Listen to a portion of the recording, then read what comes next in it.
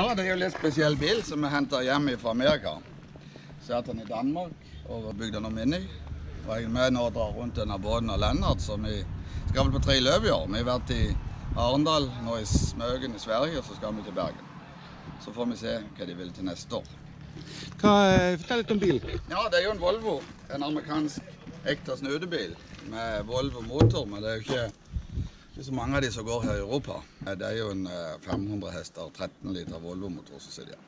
Vanlig isskift girkasse og drivlinga er fra litt spesiell det er amerikansk utgave. Det med eget barskap. Spesialdesigner for pokeren og Lillefjell-massen.